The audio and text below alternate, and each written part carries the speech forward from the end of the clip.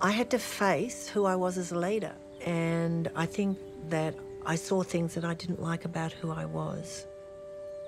I must have been terrifying and overwhelming and bossy and, you know, way, way too much.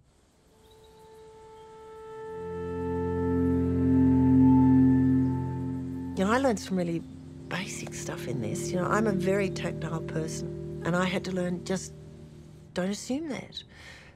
Talk slower. Australians swear a lot. Don't swear.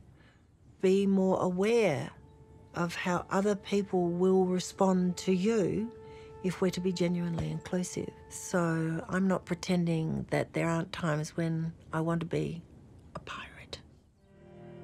But it's not okay if I'm a leader in amongst many. That's not okay.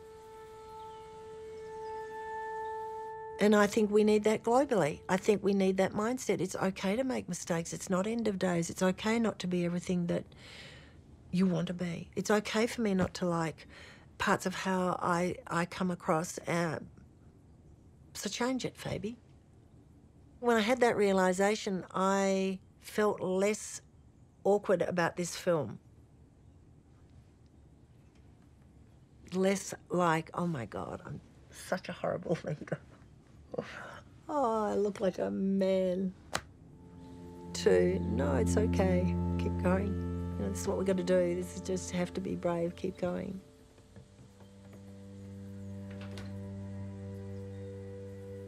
I've let go of the the need to be something, to to feel that if I didn't force it through, it wouldn't happen.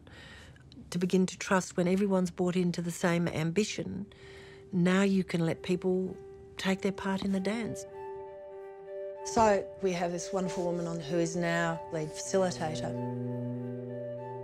So it's a letting go I'm proud of. Half the faculty are alumni. Because no one person can do this. It's stupid. You know, the world is in such a perilous state. It needs all of us on deck, giving the best we can to generate the solutions our species needs. That's what Homeward Bound is. It's ordinary heroes trying to do something extraordinary. It's not a revolution, but it's a mighty evolution of how we lead.